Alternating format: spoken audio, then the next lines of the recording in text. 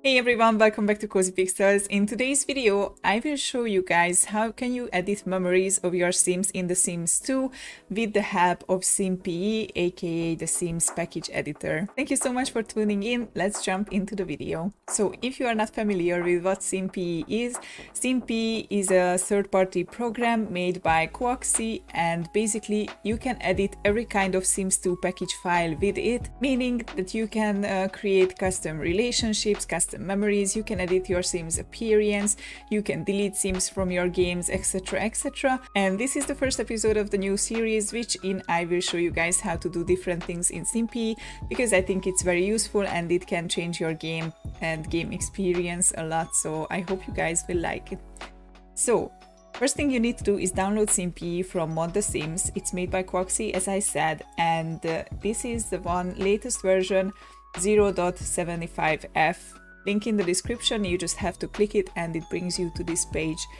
Here, I would highly recommend reading all the documentations and the descriptions just to make sure that you know everything about the download. And after you did so, click on Files and click on this one, SimPE 075FUA. This is the older version. As you can see, the this one is the version from 2005, but the latest version is from uh, 2019, so it's quite new. After you downloaded the file, open the RAR and you can see that this version does not need any kind of installation, you only have to extract it to the place you want to have it. So let's quickly do that. And after you extract it, just open the thing. So after the program loads, it looks like this. Uh, there's a chance that sometimes it doesn't recognize all the expansions from your game, so if you are having that issue, you have to go into Extra, Preferences, and here you can see there's a part which says system folders. And here if uh, any of your expansions are not showing up or not working properly you have to double click that row and locate your game manually. But most of the times it work it's working fine so there shouldn't be any problem for you. Okay so when everything is working properly and you want to change your sims memory the first thing you have to do is go into tools neighborhood and neighborhood browser. In SimPE, every kind of sim or um, neighborhood type of modification starts here, so it doesn't matter what you want to do or modify in your game, you first have to click on Tools and Neighborhood Browser. Okay, for example, let's go into Strange Town, because let's say we want to modify someone's memory there. Click Strange Town and open. Here you can see at the bottom left corner that there's a loading bar.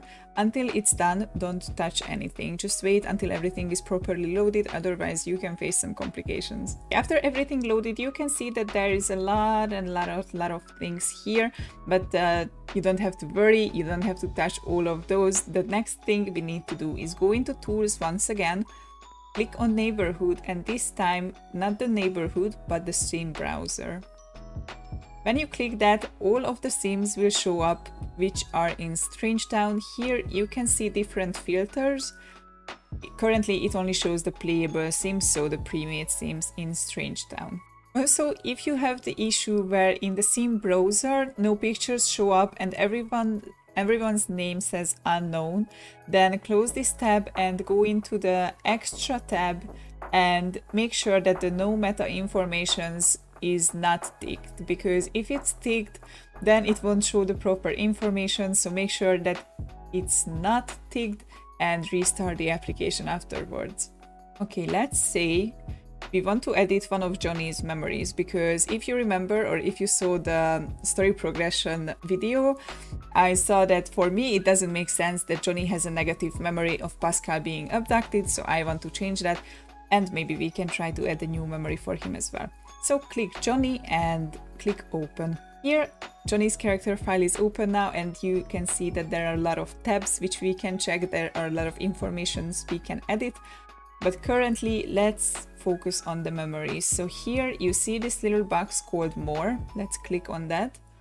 And here there's one called open memories. This is the one we want. After you click that, this page will show up. Here you can see all of Johnny's memories, which are in the game and a few invisible tokens, but we don't need to worry about that now. Let's look for the...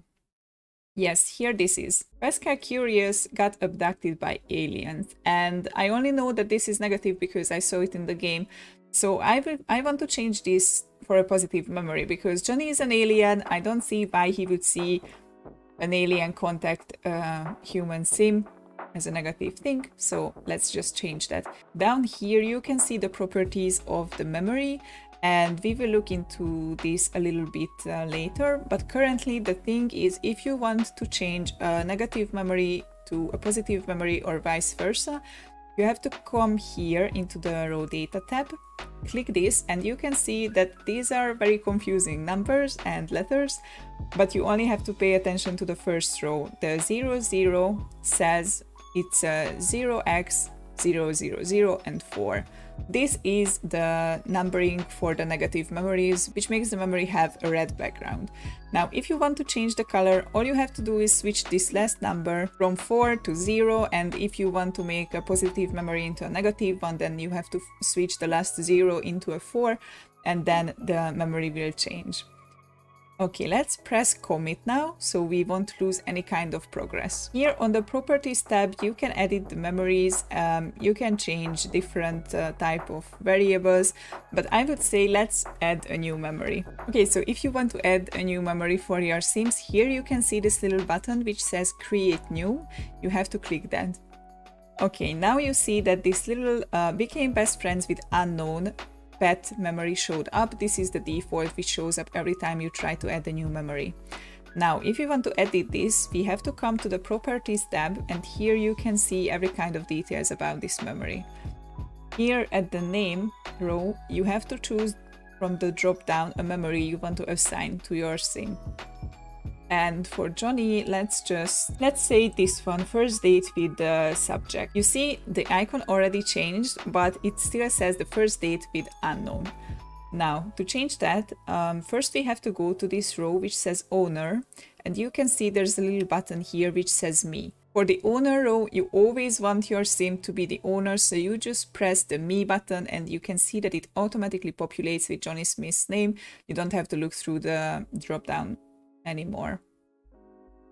If you scroll down, you can see that the subject can be either a sim or an object, but now, because the first date with a sim is a sim subject, then here we click the drop down and look for uh, Ophelia. You can type the name and it will show up. You can see now that the first date with Ophelia Nigmos memory is in Johnny's memory library already. Here, if you choose a sim, you don't need to choose an object. It's either this or that, but you don't have to choose both. Now, press the commit button again. And after you made every kind of modifications you want, go to the save icon and click it. After this, it's safe to exit SimPE. Also, I should mention that if you want to remove memories, then you can just press the remove button. It's not really complicated, it does what it says, pretty straightforward, so I don't really want to talk about that a lot. After you save the modifications, let's go into the game and see what we did. Okay, so here we are in the Smith household and let's see if the memories show up properly and we did everything right. So here we go, memories.